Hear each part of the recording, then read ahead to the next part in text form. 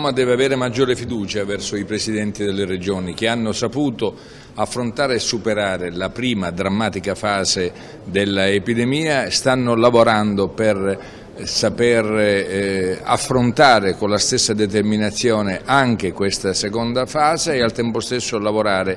per un post-epidemia che ci consenta la rivincita e la riscossa con l'impegno di risorse finanziarie importanti focalizzando su poche eh, priorità per evitare la frammentazione della spesa e soprattutto accettando le sfide di una Sicilia che non è più quella dei luoghi comuni e dei giudizi sbrigativi a volte anche improntati al razzismo da parte di alcune testate giornalistiche, ma è invece una terra che ha dimostrato e dimostra di poter avere una sanità di qualità e che si candida a essere l'hub nel Mediterraneo in termini di ricerca, in termini di qualità di servizi per dare risposte a un mondo che bussa all'Europa. In questo momento sul Covid le attenzioni sono rivolte verso il sud, sembra. Beh, è naturale perché un po' dettato da pregiudizio di alcuni di alcuni colleghi giornalisti, un po' perché eh, si è ancora convinti che il Sud sia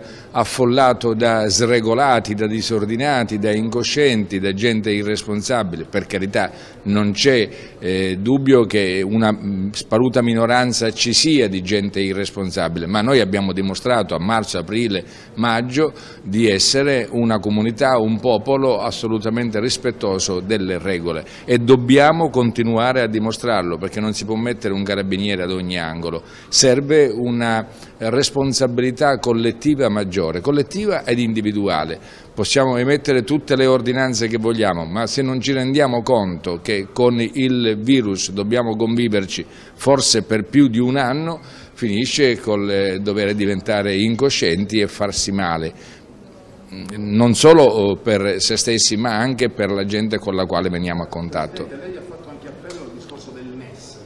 non tanto d'accordo anche questo è il nostro appello al Premier Conte da parte sua? Sì, è un po' come quello che non ha mangiato per tanto tempo perché non aveva cibo, ad un certo punto si ritrova di fronte ad una eh, copiosa eh, lauta mensa e comincia a, eh, comincia a inghiottire tutto, dimenticando che poi c'è la indigestione. Voglio dire, noi oggi facciamo man bassa di denaro pubblico eh, che viene messo a disposizione eh, dall'Europa, ma non dobbiamo dimenticare che si tratta in gran parte di denaro che dobbiamo restituire, perché si tratta di prestiti. E allora spendiamo oggi, ma consegniamo ai nostri figli e ai nostri nipoti una Italia eh, fortemente indebitata, con un debito che peserà sulle spalle e sulle teste dei nostri figli e dei nostri nipoti. Razionalizziamo quindi la spesa, mettiamo a disposizione eh, quella di cui, già, di cui, già, abbiamo la certezza, evitiamo ulteriori debiti, il MES mi sembra davvero una, una soluzione che può rivelarsi peggiore del male. Questo rischia di diventare il paese del sussidi stampo, per così dire. Beh, che l'Italia sia stato il paese dei sussidi e dell'assistenzialismo è fuori discussione, che il Mezzogiorno d'Italia per decenni sia stato nutrito anche nella ricerca del consenso politico attraverso i sussidi è anche questo fuori discussione. Adesso dobbiamo capire che la vera fonte di ricchezza è l'impresa e la Sicilia deve vincere la propria partita diventando la piattaforma logistica del Mediterraneo. Dobbiamo diventare appetibili nei confronti degli investitori stranieri ma anche nei confronti dell'Africa che fra dieci anni non sarà quello che è oggi, del Medio Oriente e del mondo arabo. Ecco perché servono poche ma significative infrastrutture, serve una medicina e servizi di qualità, solo in questo modo la Sicilia può benissimo guardare con fiducia al proprio futuro. Noi oggi stiamo immaginando e progettando un'idea di Sicilia per i prossimi 15-20 anni. Ieri Ranieri Guerra, Presidente, ha detto che il numero dei ricoveri al sud e in Sicilia sono alti, in questo il numero è alto perché c'è un'emergenza, comunque la situazione è grave.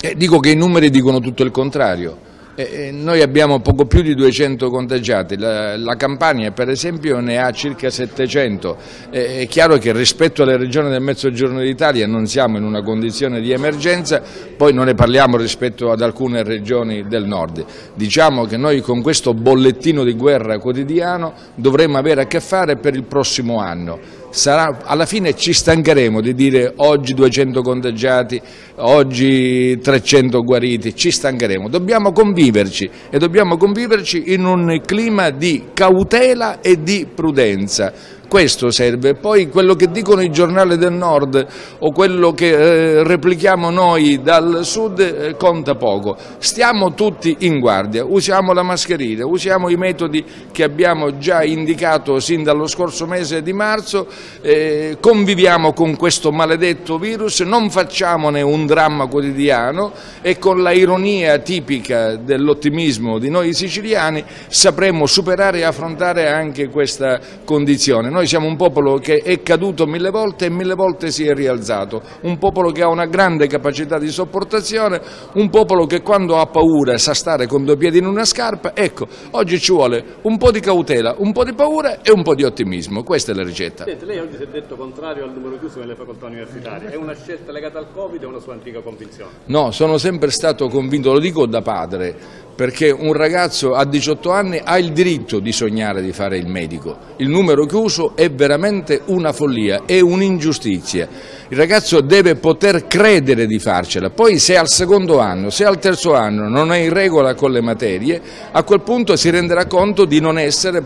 adatto a raggiungere quell'obiettivo, ma non si può con eh, alcune decine di quiz dire a un ragazzo tu non puoi fare il medico, non hai il diritto di fare il medico, perché un ragazzo che a 18 anni spegne la speranza del proprio progetto di vita è un ragazzo che abbiamo perso per sempre.